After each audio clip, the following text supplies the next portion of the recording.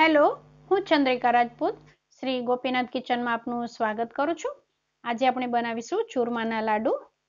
આ લાડુ બનાવવા માટે જે વસ્તુની જરૂર હોય છે એ દરેકના ઘરમાં હાજર જ હોય છે. તો આ લાડુ બનાવવા માટે અગાઉ આપણે કોઈ તૈયારી કરવાની જરૂર હોતી નથી અને ફટાફટ આ લાડુ બની જાય છે. આ લાડુ બનાવવા માટે આપણે એક બાઉલ ઘઉંનો લોટ લઈશું. આ લોટ આપણે ભાખરીનો લોટ છે, એ લોટ લીધો છે. અને આમાં આપણે બે ચમચી બેસન એડ કરીશું અને બે ચમચી રવો એડ કરીશું. રવો અને બેસન એડ કરીશું એટલે આ લાડવાનો ટેસ્ટ બહુ જ સરસ લાગશે. તો જો તમે ક્યારેય આ બેસન અને રવો એડ કર્યા વગર બનાવ્યા હોય તો એક વખત જરૂર આવી રીતે ટ્રાય કરજો. અને આમાં આપણે બે મોટા ચમચા તેલ એડ કરી દઈશું. અને આને આપણે સારી રીતે મિક્સ કરી લઈશું.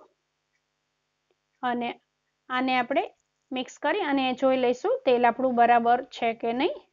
એટલે આપણે કહીએ છીએ એમ, મુઠ્ઠી પડતું મણ હોવું જોઈએ. તો અહીં આપણું મુઠ્ઠી સરસ બંધાઈ જાય છે, એટલે આપણું મણ માપનું છે.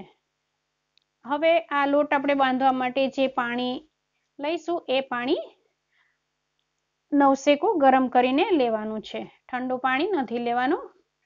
અને પાણી થોડું થોડું જ એડ કરવાનું છે.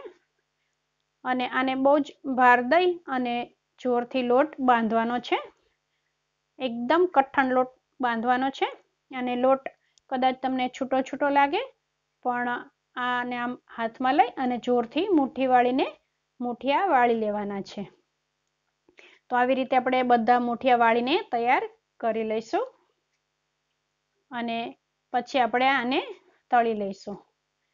તો ગેસ પર આપણે કઢાઈ રાખી દીધી છે. આપણું તેલ પણ ગરમ થઈ ગયું છે. તો મુઠ્ઠી આપણે તળી લઈએ. ગેસની ફ્લેમ આપણે મીડિયમ રાખીશું. એટલે મુઠિયા સરસ રીતે તળાઈ જાય. અંદરથી પણ કાચા ના રહે. એટલે આને આપણે મીડિયમ ફ્લેમ પર તળવાના છે. અને જ્યાં સુધી ગોલ્ડન બ્રાઉન થાય નહીં, ત્યાં સુધી આને આપણે તળવાના છે. અને બધી બાજુ પલટાવીને તળી લેવાના છે. તો આપણા આ મોઠિયા તળાઈ ગયા છે. હવે જે બાકીના તળવાના બાકી છે એ પણ આપણે તળી લઈશું.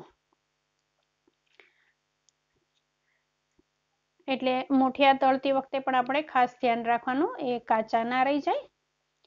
અને આ મોઠિયા તળાઈ ગયા પછી એને આપણે તરત ભાંગી નથી નાખવાના, પણ એ જ્યાં સુધી ઠંડા થાય નહીં, ત્યાં સુધી આપણે આને એમનામ રહેવા દેવાના છે.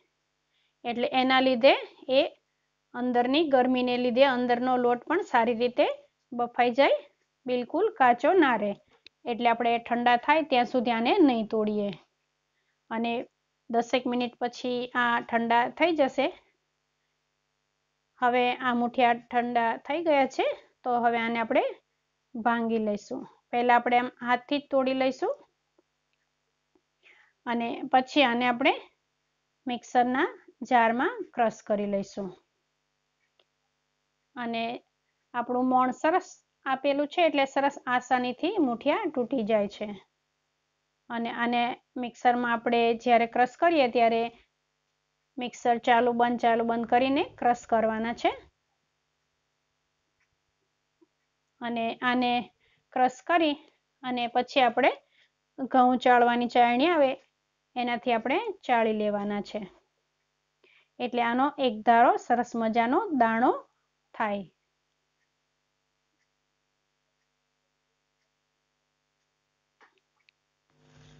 લાડુ બનાવવા માટે જો તમે ભાલિયા ઘઉંનો ઉપયોગ કરો તો તમારા લાડુ બહુ જ મીઠા થાય છે.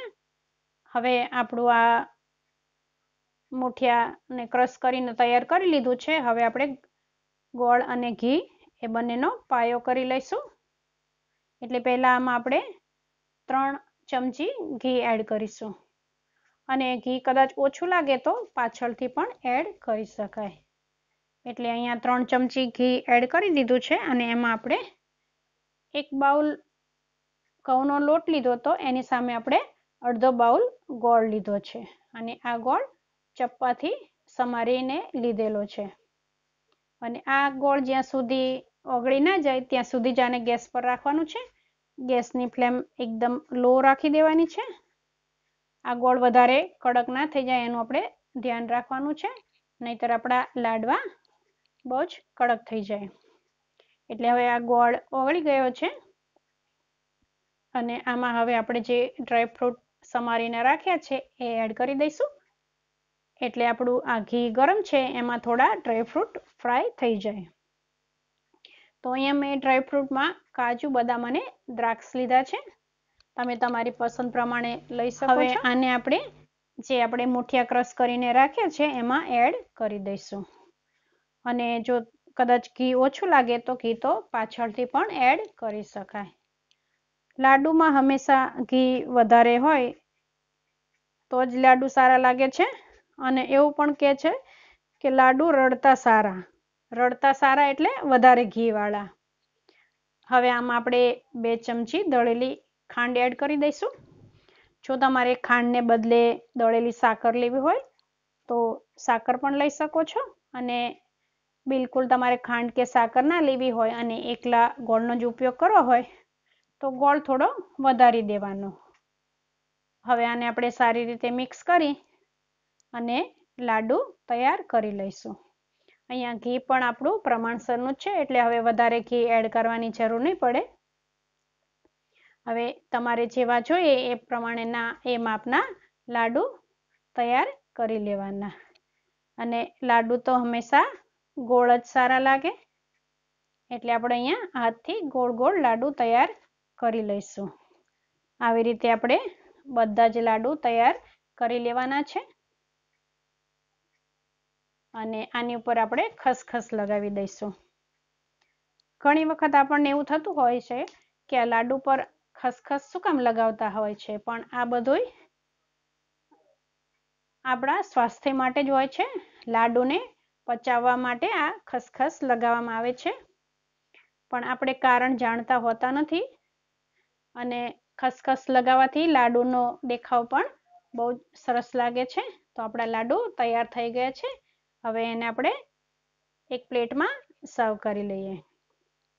તો જો તમને મારી આ રેસીપી ગમી હોય તો વિડીયોને લાઈક કરજો, વધારેમાં વધારે શેર કરજો. અને જો તમે મારી ચેનલ હજી સબસ્ક્રાઈબ ના કરી હોય તો ચેનલને સબસ્ક્રાઈબ કરવાનું ભૂલતા નહીં. બેલ આઇકન પર પ્રેસ કરી ઓલ પર ક્લિક કરી દેજો. જેથી કરીને મારા નવા વિડીયોની નોટિફિકેશન સૌથી પહેલાં તમને મળી જાય. ફરી મળીશું આપણે એક નવી રેસીપી સાથે. ત્યાં સુધી ખાઈ પીને મસ્ત રહો, સ્વસ્થ રહો.